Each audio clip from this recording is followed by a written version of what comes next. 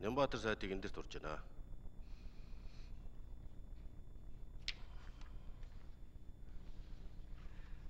Улсын хурлын дарга эрхэм гишүүдээ Монгол улсын засгийн газраас санаачлан боловсруулсан хууль зүйн тусалцааны тухай хуулийн шинжилсэн хариулгын төслийг танилцуулж байна. Монгол улсын их хурлын 2020 оны 24 дугаар тогтоолоор баталсан Монгол улсын засгийн газрын 2020-оос 24 оны үйл ажиллагааны хөтөлбөрийн 4-4-ийн 5-д гэмдэргээ хохирогч болсон хүүхэд хүүхдийн тэтгэмж тогтоох болон газар өмчлөг эрх нь хөндөгдсөн төлбөрийн чадваргүй иргэний хууль зүйн тусалцаа авах эрхийг хангах хууль эрх зүйн орчинг бүрдүүлнэ гэж заасан. Түүнчлэн Монгол Улсын их хурлын 2021 оны 12 дугаар тогтоолоор баталсан Монгол Улсын хууль тогтоомжийг 2024 он хүртэл боловсронгуй болгох үндсэн чиглэлд төрөөс хууль зүйн туслалцааг үн төлбөргүй үзүүлэх, өмгөөлийн үйлчлэгийг зөвхөн төлбөрийн чадваргүй яллагдагчаар хязгаарлахгүйгээр хамрах хүрээг өргөжүүлж хууль зүйн туслалцааны тухай хуулийн шинжилсэн найруулгын төслийг засгийн газраас боловсруулж улсын хурлд өргөн мэдүүлэхээр тусгасан байна. 2014 онд мөрдөгдөж эхэлсэн төлбөрийн чадваргүй яллагдагчид үзүүлэх хууль зүйн туслалцааны тухай хуулийн зохицуулалтаар төрийн хууль зүйн үн төлбөргүй туслалцааг зөвхөн төлбөрийн чадваргүй яллагдагчид үзүүлж байна. Зүйн дотоод хэргийн яамны харьяа хууль зүйн туслалцааны төвийн улсын өмгөөлөгч нь төлбөрийн чадваргүй яллагдагчид өмгөөлийн үйлчилгээ үзүүлэх хууль зүйн зөвлөгөөх үндсэн чиглэлийг хэрэгжүүлдэг гэж тус тус зохицуулж ирсэн. Хууль зүйн туслалцааны төв нь нийслэлийн 8 дүүрэг 21 аймаг 2 суманд нийт 31 салбар 72 албан хаагчтайгаар улсын хэмжээнд хууль зүйн туслалцаа үзүүлэх ажлыг зохион байгуулан ажиллаж байна. Тус төв нь 2014-өөс 20 онуудад нийт 62502 иргэнд хууль зүйн зөвлөгөө өгч 17506 хэргийн 19042 холбогдогчд өмгөөлийн үйлчилгээ үзүүлжээ. 2019-оос 20 онд зөвлөгөө авсан нийт иргэдийн 53.5% нь эрүүгийн ирэг, 39.1% нь иргэний маргаан, 7.4% нь төрийн байгууллага албан тушаалтан түүний шийдвэрийн талаар ханджээ. Хууль зүйн зөвлөгөө авсан иргэдийн ихэнх нь үн төлбөргүй өмгөөлөл болон улсын өмгөөлөгчийн талаарх мэдээлэлээс гадна өмчлөх эрх, хүний эрх мэд, эрүүл мэнд, бэлгийн эрх эрхчлөө, халдшгүй байдлын эсрэг гэмтэргийн хохирогч, ялангуяа насан туршаагүй хохирогчийн эрхийг хэрхэн хамгаалах, мөн хүүхдийн тэтгэлэг гаргуулах, эцэг тогтоолгох, гэр бүлийн хөрөнгийн маргааны асуудлаар хууль зүйн зөвлөгөө авчээ. Хуулийн хэрэгжилттэй холбогдуулан судалгаа олон улсын туршлагаас харвал төрөөс үзүүлэх хууль зүйн тусалцааг эрүүгийн хэргийн ялагдагчаас гадна иргэний болон захиргааны зарим төрлийн хэрэг маргаанд оролцогч төлбөрийн чадваргүй хүн зорилттой бүрэлдэхүүн иргэдэд үзүүлэх асуудлыг хуульчлах нь зүйтэй байна.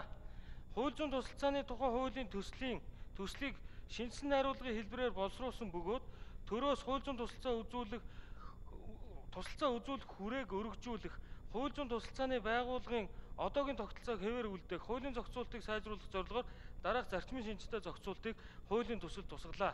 Үүнд нэгдүгээрт улсын өмгөөлийн үйлчилгээг зөвхөн төлбөрийн чадваргүй яллагдагчаар хязгаарлахгүйгээр эрүүгийн хуулийн 12 дугаар бүлэгт заасан хүний бэлгийн эрх чөлөө халдшгүй байдлын эсрэг гэмтэрэг 16 дугаар бүлэгт заасан хүүхдийн эсрэг гэмтэргийг 18 наснд хүрээгүй хохирогч эрүүгийн хуулийн 11-ийн 7 дугаар зүйл заасан гэр бүлийн хүчирхийл үйлдэх гэмтэрэг 13-ийн 1-р зүйл заасан хүн худалдаалах гэмтэргийн төлбөрийн чадваргүй болон насан туршаагүй хохирогч түүнчлэн гэмтэргийн гэрч хүүхэд хүүхдийн тэтгэлэг тогтоолох болон газар өмчлөх эрхэн зөрчигдсөн төлбөрийн чадваргүй хүн мөн зөрчлийн тухай хуулийн 5-ын 4-р зүйл заасан гэр бүлийн хүчирхийлэлтэд тэмцэх тухай хуулийн гэр бүлийн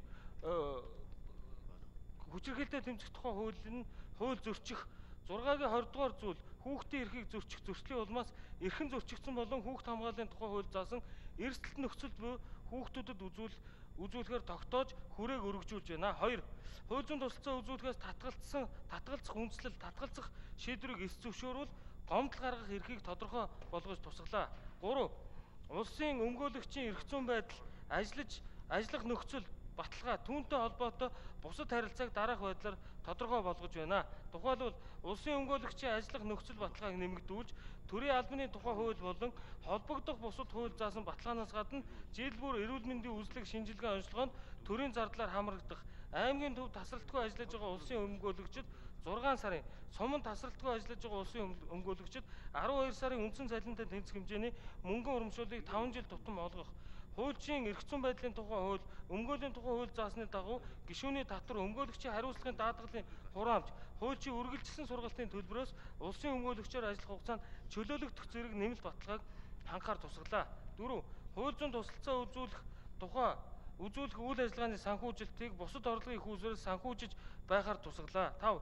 Хууль зүйн тусалцаа үзүүлэх үйл ажиллагаанд дах байгууллагын оролцоо, хувийн өмгөөлөгч оролцуулах журам, өмгөөлийн үйлсний санхүүжилтийн талаар тодорхой тусгаж тодорхой тусгаж өгсөн болно. Тухайлбал Монголын хуульчдын холбоо нь улсын өмгөөлөгчд хуульчийн үргэлжлсэн болон мэрэгжүүлэх сургалтын сургалтын хөн- хөнгөлт дэмжлэг үзүүлэхээр түүнчлэн өмгөөлөгчдийн холбоо нь өн төлбөргүй хууль зүйн тусалцаа үзүүлэх үйл ажиллагаа хууль зүйн тусалцаа үзүүлэх байгууллагын үйл ажиллагаатай уялдуулж хамтран ажиллах зохицуултыг тусгалаа. Улсын өмгөөлөгч хүрэлцээгүй нөхцөл байдал үүссэн мөн тухайн нутаг дэвсгэрт салбар байгуулагдаг эсвэл улсын өмгөөлөгчийн ажлын дундаж ачаал нь нэмэгдсэн тохиолдолд хувийн өмгөөлөгчтэй гэрээ байгуулан ажиллаж болохоор холбогдох зохицуултыг тусган боловсрууллаа. Хуулийн төсөл батлагдсанаар төлбөрийн чадваргүй улмаас хууль зүйн тусалцаа авч чадахгүй иргэдийн эрхийг хангах хууль зүйн тусалцааны тогтолцоо боловсронгуй болж Монгол улсын үндсэн хууль заасан иргэн бүр хууль шүүхийн өмнө тэгш байх Монгол улсын хууль олон улсын гэрээнд заасан эрх хэрэгчлөө зөрчигдсөн гэж үзвэл уул эрхээ хамгаалуулахаар шүүхэд гомдол гаргах өөрийгөө өмгөөлөх хууль зүйн тусалцаа авах зэрэг иргэний үндсэн эрхийг баталгаа сайжирна гэж үзэж байна. Иймд хуулийн төсөл үзэл баримтлалыг хилцэн дэмжиж өгөхийг та бүхнээс хүсье баярлалаа. Ойлоо. Одоо